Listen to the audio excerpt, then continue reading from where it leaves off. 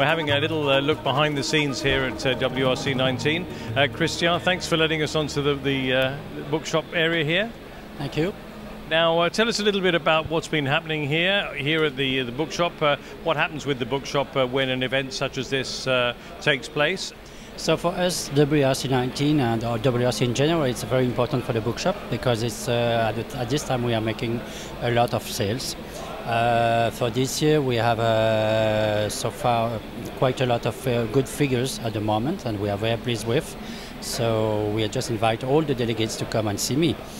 What are some of your best-selling uh, items here? So the best-selling today this uh, this last two weeks was a backpack, and sorry we have sold out.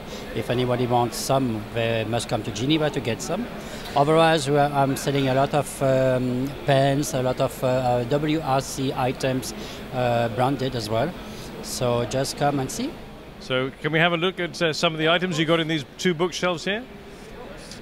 So we have, a, as you can see, we have a kind of a big range of pen, uh, fountain pens and uh, pen as well, with uh, all branded with ITU logo on different position, depends on the pen.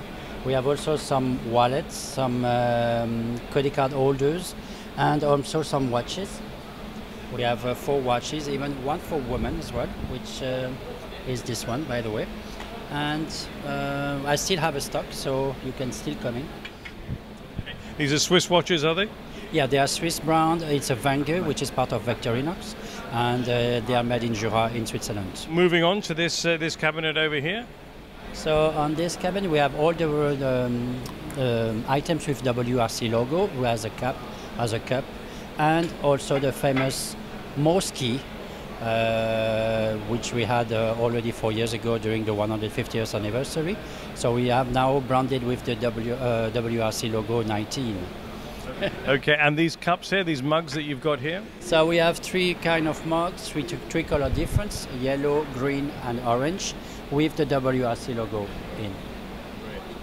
Okay, and up here? And also we have some uh, typical cuckoo, Swiss cuckoo, uh, branded ITU as well, not branded WRC, but branded ITU. So we have uh, two colors, red and beige, and we have also non-branded uh, cuckoo, which is a typical chalet Swiss, uh, which you can find in any shop in, uh, in Geneva, in Switzerland, by the way.